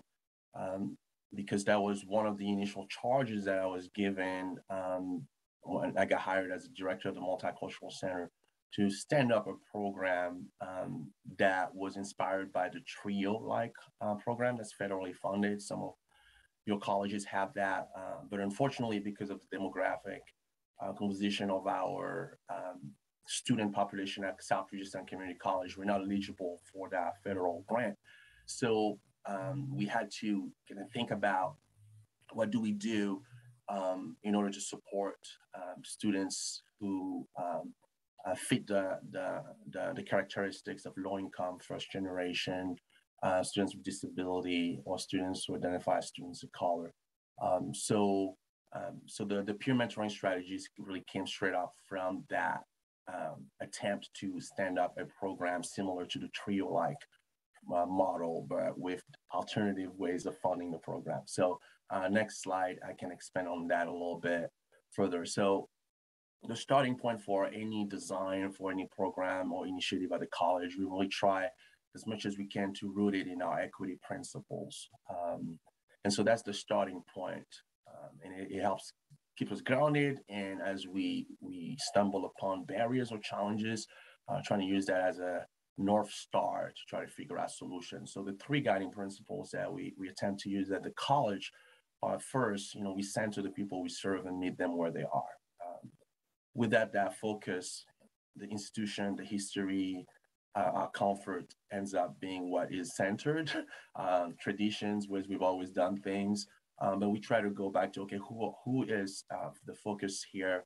Who are we trying to serve and trying to meet them where they're at. Secondly, we continually identify the barriers to academic and professional um, success and try to remove them. And thirdly, but not least, in the design and fine tuning of our processes and finding solutions, we try to involve those most impacted when making decisions. Um, so with that as a framework, um, next slide, please. Uh, we we first started our journey with the the, the, the program um, was uh, we started with Ignite, which you know as, as the title uh, implies, the idea of igniting a fire, um, a passion, um, a potential that is existent and dormant, but oftentimes suffocated by the challenges of a system uh, or uh, lack of resources. And so we wanted to to uh, to start with Ignite and so the way we did it was, it was a very, um, how do I phrase it? Um, a, a wide gate, if you will, if I can use that metaphor of entry for that program. So anyone who fit the profile of low income or identified as students of color or had a documented disability with our institution um, or um, were first generation, so their parents didn't uh, go to college, um, they were eligible to be in the program any of that um, was a check they could get into the program. And so there was a little strategy in that as, as well, um, because we also had anticipated a lot of the, the, the, the, pushback and the backlash and also some of the conversations around why certain student group over other student groups. Um, so we really wanted to have a wide net um, entry point into these equity programs and then build on the data to go further and become a little more specific. So, so we started with Ignite, which was about three year. The program is in its fourth year now. Um, and then um, last year, based on the data, because um, when we looked at the data of retention, quarter to quarter persistence, um, our Black and African American students were the ones who were not as successful as uh, their counterparts at our college. So we used that data to drive um, the, the design of an iteration of Ignite called Black Scholars. Um, and, and essentially similar services and that they will be in the, in the next slide, uh, but with a focus on the Black and African American uh, identities if the students so identify um, those characteristics as being important to them. Um, if you don't mind, uh, next slide. And so what do students get? Well, we advertise as part of the program is, you know, sense of community. We put them into cohorts. Um, they are assigned a dedicated educational planner. We have those across our system, various terminologies depending on the college, but they have a, we have a designated uh, ed planner in a multicultural center who works with those students, and they get assigned a peer mentor, um, a, a fellow student who, who has gone through the institution um, and so knows relatively well how to navigate the system and the resources. Um, and we, they get paired up um, to that mentor. They also get access to laptops, textbooks. Um, those are automatically, so the textbooks are automatically provided uh, to the students every quarter, and then they, those get returned at the end of the quarter, and it's just this rotation uh, process. And the laptops are just being, being funded. They're there. If a student needs a laptop, they just go and check it out and they use it um, we are trying to actually go into a model where Um, it's just something they get as part of the package, but we, are trying to get some funding for that. And um, they get access to early registration to classes um, because we we've, we we have instances where students, you know, because either uh, because of financial uh, barriers and or just not being on top of the game are kind of late to register to a class that would be important for their graduation and therefore they're delayed. So we've been able to, to work within the institution to, to ensure that students in that program, in those programs have early registration. We, we organize a registration day where they're, you know, there's food catered, uh, they're there with an ed planner and we ensure that they get into the classes that they need to get into. Um, we provide funding to accept, you know, to participate in the Student of Color Conference as well, and any other conferences that might be pertaining to um, a, a, salient part of their identities. Uh, and we provide a number of uh, workshops and trainings around identity development, um, academic skills, life skills, um, connections to work opportunities uh, beyond graduation, transfer, uh, financial aid, and the list goes on. Uh, but one thing that we do slightly differently with the Black Scholars pro, uh, program, which was an equity intervention in order to really address that gap in the data, uh, was we, we worked with um, the, the foundation and some donors in our community to really raise a lot of money. And, and really the fiscal point is the challenge here. We would love to implement the same model with our Ignite program, but um, it's just a bigger student pool so it makes it hard to to make it sustainable. But with the Black Scholars right now, because we still have a, um, we're averaging around 60 students. Um, we've built this model around the SAI milestones um, that our, our, system uses to to um, to monitor the progress and retention of students uh, through our system. And so when students, and we know based on the data that when students complete their uh, their 45 college credits, so uh, 45 SAI points, their likelihood of graduation and completion just go through the roof. And so based on that that data point, we built a model where when of incentivization essentially. So when students really complete that, um, they get a scholarship of about $500 towards their tuition um, as part of being in the program.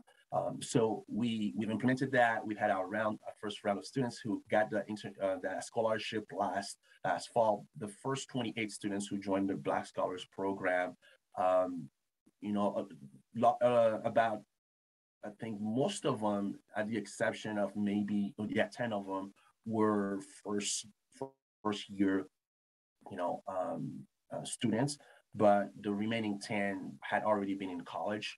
Um, and so they were able to, and they had already earned about 30 credits or so. So by the, the spring quarter, they were able to um, complete their 45 credits and then get their uh, scholarship. And it was just really uh, emotional to see the, the comments and commentaries that came from the students um, and how that was able to remove some of the uh, physical barriers to continuing their education. So this is what the students get in a nutshell. Um, but the peer mentor component cannot be under uh, understated in that um, we've built in a model of uh, regular check-ins where the peer mentor has essentially uh, what you will liken to a caseload management model where they have a set of students and we have a ratio of a mentor to about 10 mentees in the program. The, the mentors are being paid through, um, through uh, operational funds that are being allocated to support the program. And then um, so they have check-ins and there's a set of questions, a questionnaire survey that we built to help the mentors um, identify what are the barriers students are dealing with um, at any critical uh, step of the, the quarter, right? So at the beginning, we look at the challenges with registration um, if there's any challenge of getting into classes or getting their books or uh, assignments and so forth. And when we go further into the quarter, um, they, they are checking on issues related to class attendance and understanding material. Um, and, and the list goes on, just really timely uh, check-ins with the students to make sure that there aren't any um, blind, blind spots or issues that just you know sneak up on everybody and then the student has to drop out. Um, so next slide, please. Um, so one of the things that I really wanted to highlight here is the fact that um, at the infancy of the program, we had what you would call a traditional enrollment model where we had some clear deadlines of when students needed to apply by and by when we processed the applications and then they were notified and then they went through a, uh, your traditional type of orientation model. Uh, but we quickly learned through some of the feedback and, um, and reviewing our data that what we had done was create an elitist model whereby the type A type A type students were doing very well in finding out about the program in time and filling out the applications in time and then getting into the program in time. But for the type B, uh, type B, type C type of students who, you know, they didn't hear about the student in time, uh, didn't hear about the program in time, or by the time they heard about the program, somehow, you know, the deadline was passed. Um, there was no mechanism really to get them into the program and, and to get them to benefit uh, from what we were offering. So we mixed all together the, the deadline type of, type of model and implemented uh, an ongoing enrollment process into the program. Um, you know, and some of it was really thanks some of the positives of the, the, the pandemic when everything had to move remote. Um, we had to become a little more innovative in the way we facilitated our orientation. And so the compounding effect of all that allowed us to realize that we could systematize some of the orientation processes, which used to be a barrier to, you know, um, the ways in which we, we, we implemented folks coming in, getting onboarded into the program, and then getting them going. So, so at this juncture, there's no deadline to the program. We have a timeline by which we expect students to fill out the application and complete the onboarding um, and get assigned to a peer mentor. But if they don't complete it within the quarter, they have to reassign, redo it the following quarter. But at any point, any given time, when they hear about the program, they can get in, um, go through a set of modules of orientation, and then get paired up to a, a peer mentor, and then they're on their way to getting the support that they need. Um, next slide, please. So concretely in terms of program outcomes, uh, with three years of data and, and counting, this is what we found so far. You know, comparatively to others, um, our general student population, uh, for the first uh, 15 college credits, our students are are doing a lot better than students who are not in the program. Um, and so, so we are reaching that goal in helping students complete the first 15 credits. Um, and that, that, we're still doing as well with, um, you know, moving to the second milestone of the 45 college credits. As you can see the number in green there. Obviously, this data is very skewed by the pandemic having hit the last two years of and knowing the student population and how hit um, low income folks have been by the pandemic and having to drop out in order to take care of sick family and so forth. But still, with that trend across the system, um, students in the program are doing well, um, relatively speaking. Um, and the more next next slide. Um, yeah, so so that is regarding the Black Scholars and Ignite um, program, um, and and then with regards to the outreach, so the the piece about the outreach legislation that requires to really intentionally build some outreach programs that ensures some some um, some pipeline, if, if, you will, of students from high schools um, into um, our college experience in a way that ensures that they're connected to a support model. And so one way that our institution has decided to move forward with that is to hire a full-time outreach specialist. Um, and it was an interesting conversation internally in terms of finding out, okay, where does this person live, right? Do they live under the Office of Diversity and Equity? Uh, do they live in the student services side? So the direction we went, and I'm very fortunate, I count my blessings with the collaborative uh, relationship that we've built at South Puget Sound Community College between the various areas. Uh, one of the things that we try to do is to, again, center the student and the person in the role and, and think about where would they be best um, located in order to be successful in this endeavor. And it made sense that given the, the, the work of the outreach department already, the extensive work of outreach in the community, um, that they should be uh, located organizationally there with a dotted line to the Office of Diversity Equity so that they are also looped into some of those, those prerogatives that our office are trying to push uh, forward. So that's the model that we used and there's a lot of flexibility there. We're gonna look at it, try it and see if there's changes that needs to be made. Uh, but some of the key features with, uh, with regards to this role is that the person will be full-time. They will be um, reporting uh, to the um, director of um, uh, uh, strategic partnerships with K-12 partnerships. I think that's the title we have lately for that. And then they'll have a dotted line to my office. They will also have days dedicated to be in the high school, critical high schools where we know that um, the systemically um, non-dominant uh, students um, that need to come to our college uh, are located in our region. So I'm thinking about Yelm, uh, North Thurston in, in our area here. So they will have days that are set up to be actually there on campus, working with students, connecting with students, helping them with financial aid applications and so forth.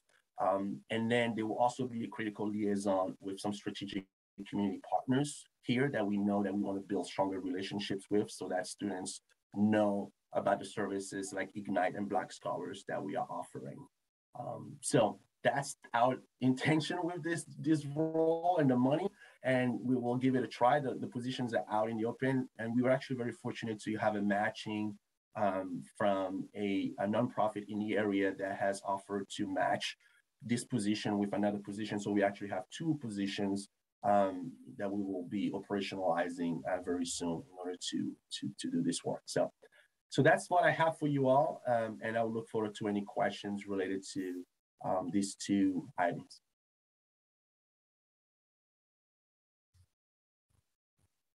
That's great. I'm going to give just a few seconds to see if anyone has any questions for Parfait.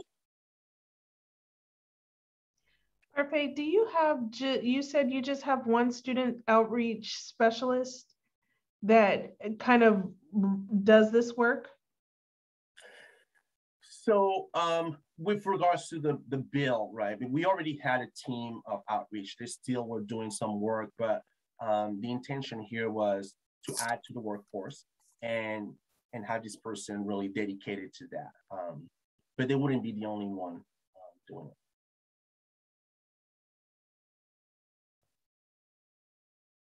Any other questions for Parfait?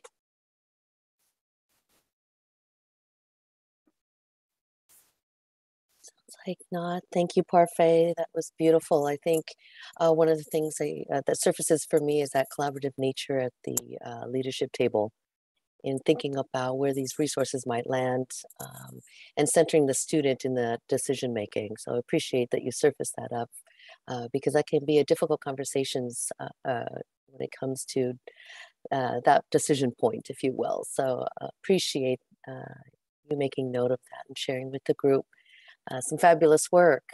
Uh, I want to point to the time, I apologize uh, for running tight on time today, uh, especially to Jeanette and her team from Yakima Valley who are here to share their good work in developing their DEI strategic plans to share with everybody.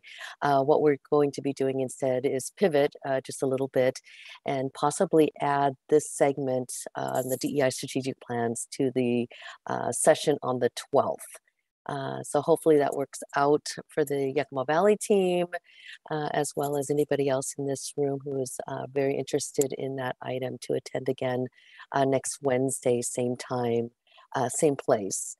so I want to wrap and see in front of you the contact information for all the individuals, um, SANS Yakima Valley College Group uh, who presented today the work that they've been doing on their campuses. It's a nice reflection, of course, and pointing to uh, the enduring work that's been happening for a good long time uh, that these investments, legislative investments, can continue to uh, support as well as build out and scale. Uh, so mm-hmm. thankful to the work of your teams um, and for sharing with everybody in the Zoom room uh, very, very, very much. Uh, next slide, Christina. I think it's we're we're wrapping. Yeah. So there's contact information for the collective uh, state board team uh, in doing this work with all of you. Uh, please, please, please feel free to reach out at any time. Should we be able to help provide some additional guidance or uh, any kind of support that you might have? We've been doing some one-on-ones with executive teams as well, um, one-on-ones with individuals. We have an open door policy, uh, of course. So uh, reach out to us at any time to to be able to meet with us on this endeavor. Uh, but much appreciate all of you uh, and coming into this space together. Excited to see where this is going to take us. Uh, we also have a survey, quick uh, survey. I should take you less than hopefully three seconds, maybe, to provide us some information so we can look to see how we can do better by all of you at the next go round. So again, thank you to everybody here. Uh, thank you to uh, the DEO colleagues and your leadership. Uh, and until next time, know that we are here uh, whenever you need. Thank you. Thank you. Christina, if you'll stop share screen would be great.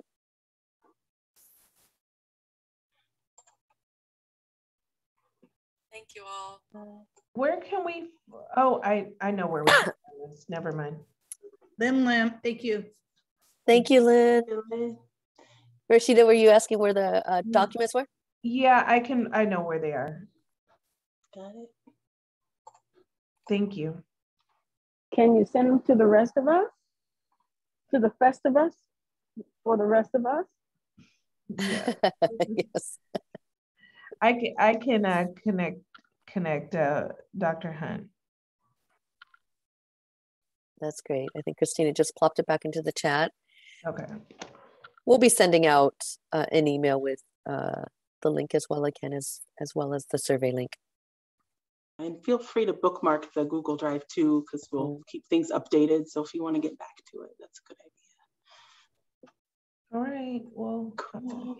Thank you, Rashida. Yeah. Thank you. Thank you. Melissa. I wanted you to meet Yes, Nicole. Nicole, Stellar, stellar, stellar, Yeah. stellar, stellar, stellar.